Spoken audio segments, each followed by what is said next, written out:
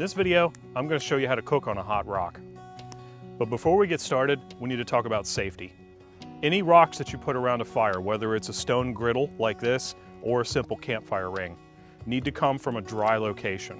If you scoop up rocks out of a creek or river or any other wet location, they can be full of water, which will expand when the rocks heat up by the fire and cause the rocks to explode dangerously.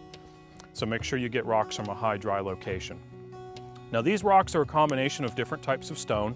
I've got some granite here, some soapstone, and then some other types of stone around as supports. You can set up your rock fireplace any way you like, but you wanna make sure that it's stable, secure, and in no danger of tipping over.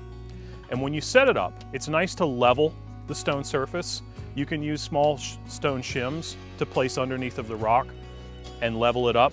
You can also use water to establish whether your stone frying pan is level or not. A little water poured on the stone will tell you if it's flat. Water will also tell you if your rock is ready to cook on.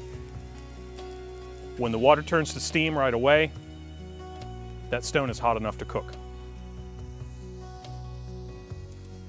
So you want to keep your fire stoked up with lots of small sticks. Small sticks and branches are going to burn quickly with a lot of flames.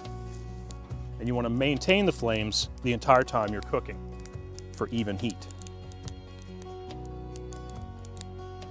Greasy foods are the best thing to cook on a rock frying pan.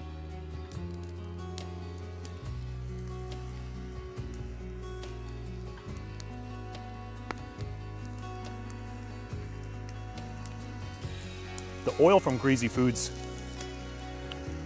naturally keeps them from sticking.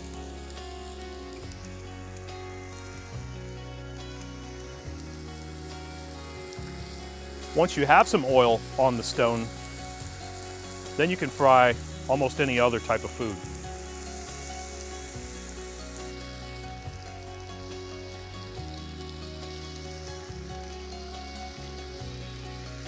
Keep your fire burning steadily and make sure all your food is cooked thoroughly. It's been about 10 minutes, so now it's time to flip our bacon.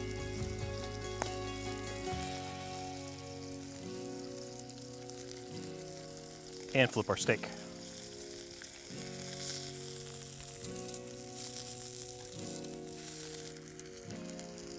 So just keep your fire going underneath of your rock frying pan. Never turn your back on your food. This grease could go down, create a larger grease fire, which could come up and begin to burn your food on top of the stone frying pan. And once everything's done to your satisfaction, pull it off of there and eat it up. For more from Tim MacWelch, pick up his Prepare for Anything and Hunting and Gathering survival manuals at outdoorlife.com forward slash MacWelch.